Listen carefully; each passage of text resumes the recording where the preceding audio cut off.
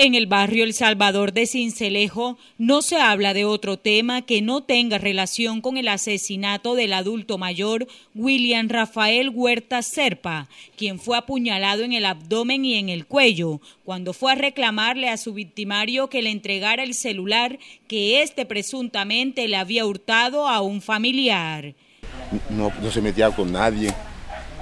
Mira, fíjate, las cosas están mira, complicadas y y a la vez, bueno, muy dolido porque, porque eso no se esperaba, pues. ¿Y no saben quién lo hirió ni nada?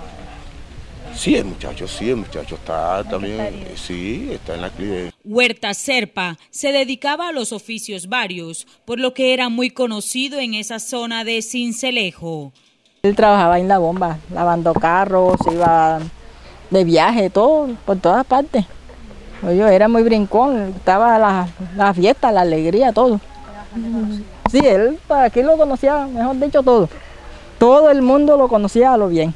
Según versiones, William Rafael se encontraba departiendo con varios amigos cuando fue alertado de que a un familiar le habían hurtado un celular. El hombre, quien estaba bajo los efectos del alcohol, cogió un cuchillo y fue a reclamarle al presunto ladrón. Sin embargo, se encontró que éste estaba armado y lo apuñaló causándole la muerte en el acto se conoció que en medio de la agonía el adulto mayor agredió a su victimario, quien se encuentra internado en el Universitario de Cincelejo. Debido a este hecho, se vivieron minutos de pánico en el barrio El Salvador. La policía se hizo presente en esta zona para controlar la situación.